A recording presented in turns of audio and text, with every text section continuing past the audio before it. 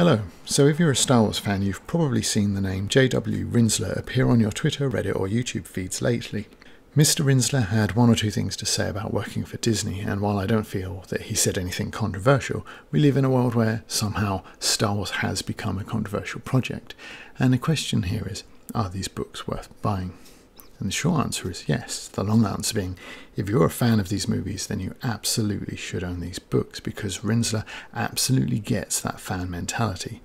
If you are a fan of something, you want a product that does justice to it, and these books undeniably do. You can see that I have all three of them here, but I'm only going to show you the first one because obviously I don't want to show you so much that you don't need to go and buy the book. But you can see straight away from these covers just how beautiful the books are. But first, I want to show you this. This pamphlet was given away with Empire magazine, I think, to promote Rinzler's book.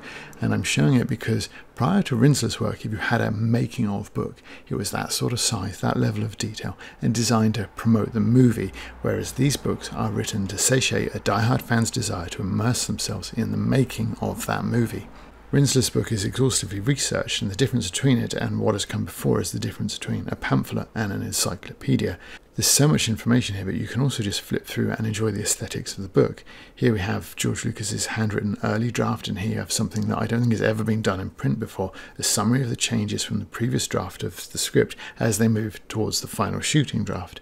There's a collection of these in the appendices as well. I wanted to show this page briefly because the channel covers classic sci-fi quite a bit, so it was nice to see these old magazines here as well. Here we have Lucas's hand-drawn sketches of a TIE fighter and an X-Wing, and after three chapters, we have just reached a stage where Lucas has reached out to Ralph McQuarrie for some concept art. And here is some of that concept art, not just beautiful paintings, but the layouts here as well. Incredible. 60 pages in, the script is still being worked on, and these are photographs taken from location scouting in Tunisia. I think this is a really nice page. Carrie Fisher isn't here, but you have Mark Hamill and Harrison Ford reading for their parts. There's Hamill himself, handsome man, great photograph. Here's another really beautiful layout, all these shots from shooting in Tunisia. The man, the legend, Alec Guinness. My dad met him, I never had the pleasure. Here's Carrie, there's some early wardrobe tests here. Han, no doubt, practicing shooting first, but here you also have what shots were filmed on which day. That continued through the whole shoot, so it's all through the book. This is really great. It's lovely to see those three together. Some of the incredible matte paintings, so much information, so beautifully laid out.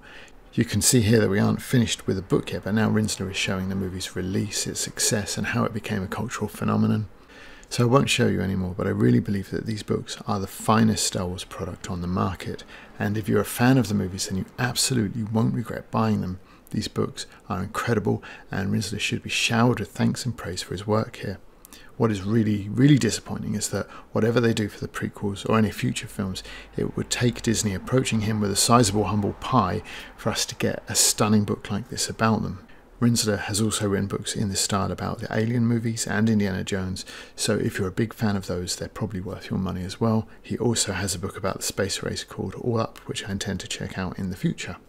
On this channel, typically you'll find reviews of classic sci-fi and fantasy, as well as more modern novels, so if that sounds like something you would find interesting, by all means subscribe while you're here. Thanks for watching.